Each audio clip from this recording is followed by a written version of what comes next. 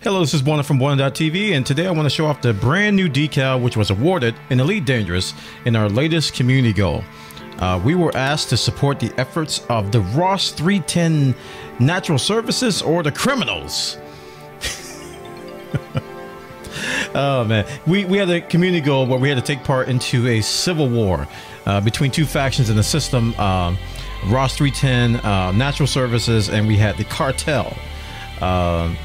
Uh, I forgot the name of them. They were like the the Ross 310. Here it is. The Ross 310 cartel. Look how mean this guy is. He's like, I hate all of you. Um, and the unique thing about this community goal uh, was that us players we had the chance to take part in this civil war, choose a side, and the winner got a decal. The community goal just ended yesterday, and uh, I, I, put in the work and made the top 10%. So now I get to look at the spoils of war. First off, I got 30 million credits uh, for being in the top 10%.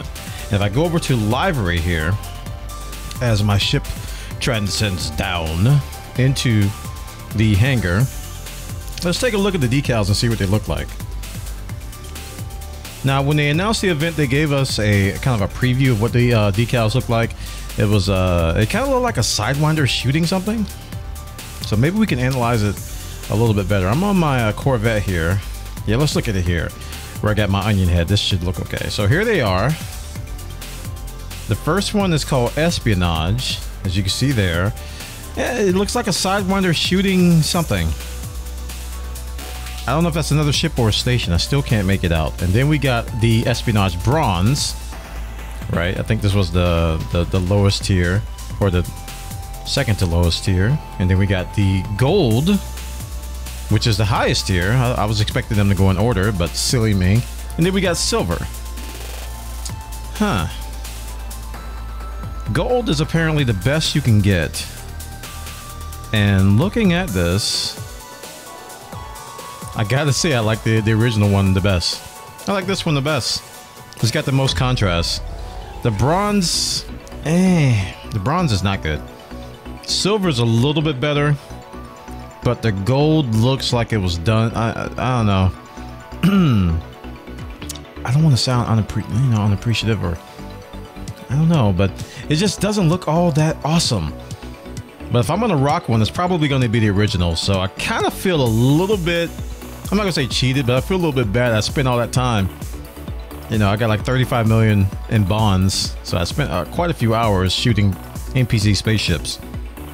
Excited to get this, to get this, uh, this decal. And this is what it looks like. Hmm. What do you guys think? Underwhelmed, overwhelmed, whelmed, meh? I'm sitting at meh right now. This uh, hopefully future events will be better. I'm a little bit, I'm still a little bit optimistic. I mean, this opened the doors. Community goals tied to cosmetics is a very, very good thing. So hopefully we'll see more and better decals. Instead of this, gotta say, this looks pretty sloppy. This is Bwana from Bwana.tv. These are the decals from the Community Goal Elite Dangerous. Ross 310 Natural Services, I hope you guys are happy because I'm a little bit underwhelmed. Next time you ask me to do something, I'm to look for a little bit more detailed detailed proof of the rewards, you know.